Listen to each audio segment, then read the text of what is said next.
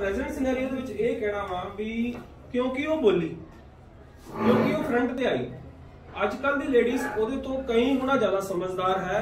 Problem ਕਿੱਥੇ ਆਉਂਦੀ ਹੈ ਕਿ ਉਹ ਆਪਣਾ ਜਿਹੜੀ ਪਾਰਟਿਸਿਪੇਸ਼ਨ ਹੈ, ਉਹਨੂੰ ਸਿਰਫ ਸੀਮਿਤ ਕਰ ਲੈਂਦੀ ਹੈ।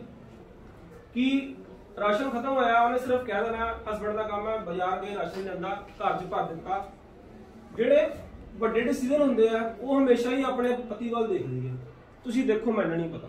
ਤੁਸੀਂ ਕਰ ਲਿਓ। ਅਕਸਰ ਜ਼ਿਆਦਾ 90% ਦੇ ਘਰਾਂ ਦੇ ਵਿੱਚ ਇਸ ਤਰ੍ਹਾਂ ਹੀ ਹੁੰਦਾ ਹੈ ਕਿ ਉਹ ਕਹਿ ਦਿੰਦੀ ਤੁਸੀਂ ਦੇਖ ਲਓ, ਮੈਨੂੰ ਨਹੀਂ ਪਤਾ। ਜਦੋਂ ਤੱਕ ਅਸੀਂ ਆਪਣੀ ਪਹਿਚਾਨ ਨੂੰ ਖੁਦ ਨਹੀਂ ਸਾਹਮਣੇ ਲੈ ਕੇ ਆਵਾਂਗੇ, ਖੁਦ ਆਪਾਂ ਐਕਟਿਵ ਰੋਲ ਨਹੀਂ ਪਲੇ ਕਰਾਂਗੇ, ਖੁਦ ਫਰੰਟ ਤੇ ਨਹੀਂ ਆਵਾਂਗੇ, ਤਾਂ ਸਾਡੀ ਜਿਹੜੀ ਇਮੇਜ ਹੈ, ਉਹ ਉੱਥੇ ਦੀ ਉੱਥੇ ਰਹਿ ਜਾਣੀ ਹੈ। ਕਿ ਆਪਾਂ ਸਿਰਫ ਉਹ ਜਿਹੜਾ ਆ ਜਾਂਦਾ, ਇੱਕ ਸਰਕਲ ਜਿਹਾ ਆਪਣਾ ਖਿੱਚਿਆ ਹੋਇਆ ਵਾ, ਜਿਹਨੂੰ ਆਪਾਂ ਕੰਫਰਟ ਜ਼ੋਨ ਕਹਿ ਦਿੰਦੇ ਆ ਜੋ ਮਰਜ਼ੀ ਕਹਿ ਦੋ ਤੇ ਫਿਰ ਉਹ ਹੁੰਦਾ ਕੀ ਆ ਉਹੀ ਲੇਡੀ ਖੁਦਾ ਨਾ ਖਾਸਤਾ ਜਦੋਂ ਉਹਦੇ ਘਰ ਦੇ ਵਿੱਚ ਕੋਈ ਮੁਸ਼ਕਲ ਆ ਜਾਂਦੀ ਆ, ਰੱਬ ਨਾ ਕਰੇ ਉਹਦੇ ਹਸਬੰਡ ਦੀ ਕਿਸੇ ਦੀ ਡੈਥ ਹੋ ਜਾਂਦੀ ਆ, ਤਾਂ ਫਿਰ ਵੀ ਤਾਂ ਉਹ ਸਾਰੇ ਰੋਲ ਪਲੇ ਕਰਦੀ ਆ ਆਪ ਹੀ। ਉਦੋਂ ਕਿਵੇਂ ਕਰ ਲੈਂਦੀ ਹੈ ਉਦੋਂ ਇਸ ਕਰਕੇ ਕਰ ਲੈਂਦੀ, ਉਹਦੇ ਸਿਰ ਤੇ ਪੈ ਗਈ।